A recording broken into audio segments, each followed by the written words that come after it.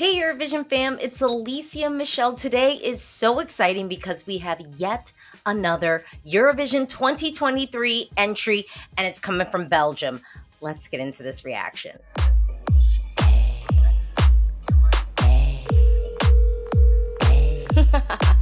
I got a new video. I got a new video. Alesia Michelle.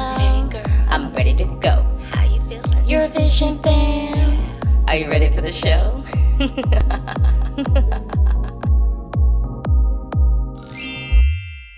If you've never been in my channel before, welcome. If you love the Eurovision Song Contest, what are you waiting for? This is your moment. This is your chance to get connected. I love the Eurovision Song Contest. If you're here watching this, I think you might too. So please take the opportunity to hit the like button and don't forget to subscribe because I have so much content coming for you. Our Eurovision season is just getting started. Okay, so let's talk about Belgium at Eurovision. Belgium has won once, and lately at Eurovision, I mean, they've qualified the last two years, which is good. So, you know, when they decided to mix things up and bring back the national selection, I'm not going to lie, I was a little bit worried. I thought the internal selection was going well for them, except for the fact that they have not qualified a couple of times. I think if you look at the last 10 years, it's been a little bit of a mixed bag for Belgium. But the thing is, when they're good, they're so good. And I mean, even some of the times that they've not qualified, honestly, it's come down, from my perspective, to the staging. It's all about how they decide to interpret it on the stage. And I guess the benefit of having a national selection is we get to get a little bit of a window into what that full package could be. So I will say I did not react to any of the songs in this national selection. I don't know about any of the competitors. So I'm going into this pretty clean. Pretty like I don't know what the front runner was. I don't know if this one, that one was the front runner. So really my opinion is going to be pretty untainted. Um, it's not like I'm like mad something else didn't win or something like that. So I'm very excited to get into this reaction. I'm just gonna go for it. At least with Belgium, I do feel like even when they've had young performers, it does outside of Laura Tesoro, it does feel like Belgium gives us this elevated quality that I would say lately. I mean, Hooverphonic, great, Blanche, City Lights, young performer, but that song was so good. Eliot didn't even get to qualify, but that studio track is great. I mean, even Sennek didn't qualify, but it's a great studio cut. So I'm I'm thinking this should be kind of like a full package. Belgium has had good studio tracks. They've sometimes failed on the staging when it came to Eurovision, but since it's a national selection, we're going to see some staging. So I'm excited to get into this. Play. Mm-mm.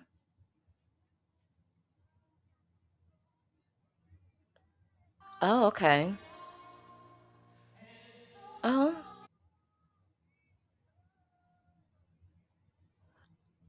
Oh, okay. So this is Dancy because of you. And that's the title of the song, Because of You. Oh, I. Okay, so this is like house music. I kind of like that. I love a house track. I like the fact that we have staging, I, I mean, and styling. You know, we got the Jamiroquai hat. Nah, it's not the exact Jamiroquai hat, but we're rocking headgear. Okay, there's a vocal here.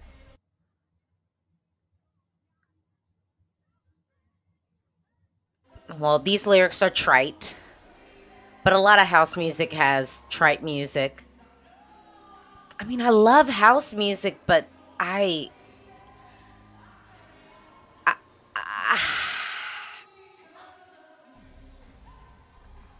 I, mean,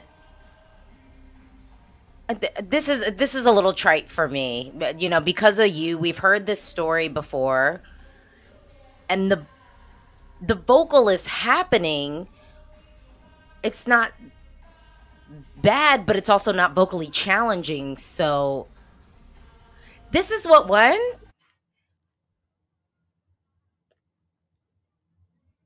Oh no. Um. Mm, mm, mm.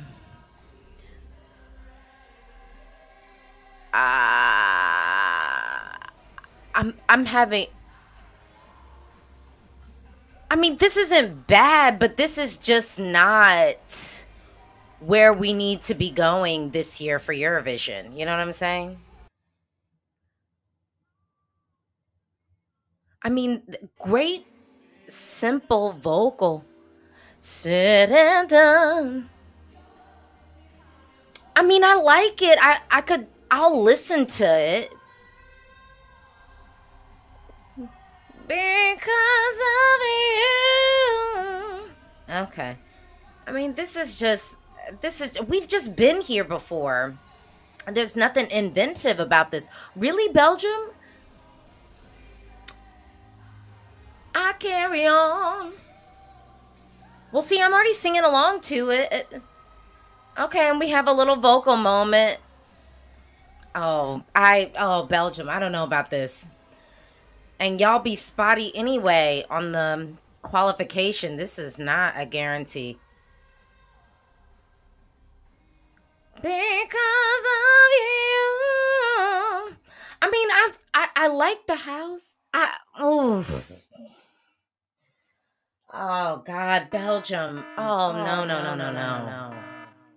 No. I I uh, Belgium already has a spotty record at Eurovision and now I feel like I need to see what else was in the competition cuz if this was the best one I mean I guess it's uh, dun, dun, dun, dun, dun, dun. I carry on. I mean, so it's catchy. So I I know it already. So there there's something to be said for that. But th- this is just there's nothing we're not building upon anything with this. It's not really giving me anything new. I've heard this track before, you know. I I, I thought I let me talk about the positives. I actually like the styling. I think it's it's something that will pop. It looks like a showpiece, so I'm cool with that. I think that we could give our background singers a little bit more. If the background singers are going to be coming up and interacting with our vocalists, yes, they're still backing vocalists, but I think that we could give them something a little bit more cohesive and um, something that also looks like a showpiece. So I would recommend that. But I appreciate the fact that there was styling. That that was special. It looked like he looked like a performer. You wouldn't just see him walking down the street, depending upon what streets you walk down. You know what I'm saying? This is like 50 50 qualification leaning towards non qualification. Given Belgium's track record, it, it just, there's nothing new about this. It depends upon, I guess, what the competition is going to be. But this is just, uh, you know, it's like something about a Eurovision winning entry. There is something about it that feels special, that feels not generic. It feels like there's just this little bit of oomph. And with this one, it's just we've been down this road. We've heard this house track before. Nothing wrong with it per se. It's just like lacking that special something that's that special spark. I don't know if this will be one of the worst entries this year. It's still pretty early in the competition. Um but this this to me off of not having other songs. If I was a Belgium Eurovision fan, I would not be prepping to be present Saturday night. I just wouldn't. I just wouldn't. This is lacking something special. It's it's lacking, you know, forward thinking and I mean one of the most modern Eurovision entries of like the new millennia. Loïc Nottet. Modern. Blanche's track super fresh.